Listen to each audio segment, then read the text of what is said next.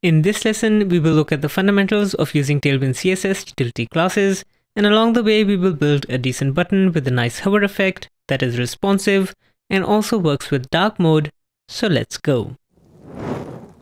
Now we're going to be using this Next.js Tailwind template that we set up in a previous lesson, but you're free to bring in any Tailwind application that you might have.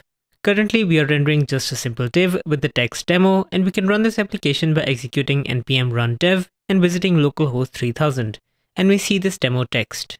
To start demoing Tailwind classes, we will create a component called button within the components folder with the file button.tsx.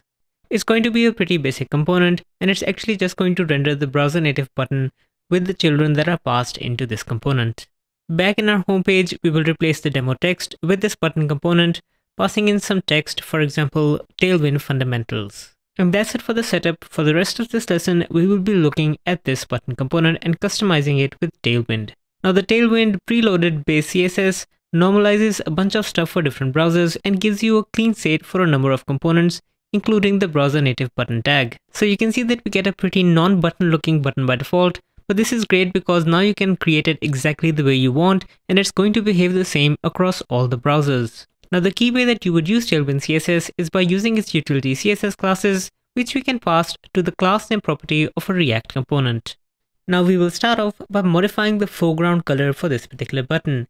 We can set any color with text-color name. For example, to provide a nice light shade of blue, we can go with text-blue-100.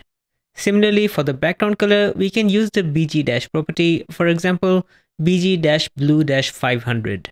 With these two changes, our button should already start to look more like a button, and we can see that when we jump to the UI.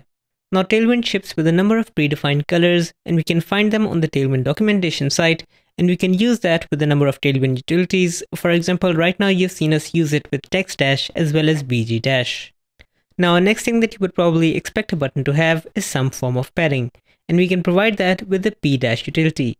Now, Tailwind works on top of a design system that is, the numbers that you see over here, which are 0, 1, 2, 3, are not exactly pixel values. They are a part of a well-defined scale, so your UI is going to be much more consistent if you are just going to use the values from the scale. Now the p-dash utility provides the same value of padding for all dimensions, that is top, bottom, left, right. So by using p5, we are providing 5 units of padding in all dimensions as you can see over here. Now in addition to p dash, there is pt dash which is for top, pr dash which is for right, pb dash which is for bottom and pl dash which is for left. In addition, there is px for both left and right that is the x dimension and py which is both top and bottom that is the y dimension. Now the same naming convention works with a number of other properties as well. For example, m dash, which is for margin, that can also be mt, mr, mb, mx, my, and so on. Now it's conventional to have buttons with a bit more padding on left and right and a bit less on top and bottom, and that's exactly what we will do with px2 and py1. Now another utility worth looking at is the height utility which we specify with h dash, and this takes all of the same values that we previously saw in spacing. For example, h40 gives us a nice tall button. A closely related utility is the w dash utility which is for the width and W40 gives us a button that is constrained to the 40 unit in our design system. Now you can also provide percentage values for width and height. For example, you can provide W-1 over 2 and because 1 over 2 is 50%, it's going to take 50% of the width from the parent container. And similarly, you can provide a value called full, which is going to take 100% of the parent container. And then there's a special value called auto, which is essentially the same as saying give me as much space as my content needs. And that's the default for buttons anyways, so we can remove that for now. Now one thing that might be piercing in this button is its sharp edges, and we can fix that by using the rounded utility. Just like other utilities, it's on a design system and we can use the medium value for our particular use case by specifying MD. And now one fancy CSS property that we can use is the shadow, and that's also on the design system, so we use shadow-md.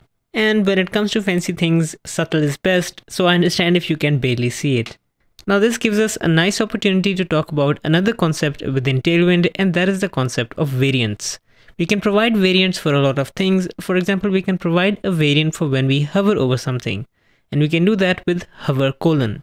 Now with this change, the shadow will only appear when we hover over the button. And we can see that in the UI, hopefully now you should be able to see the shadow a bit better. Now just providing a subtle shadow is probably not enough to indicate the user that they are hovering over something. So an additional property that we will change will be the background color and we will do that with hover colon bg dash and this time we're going to provide the background color blue 600.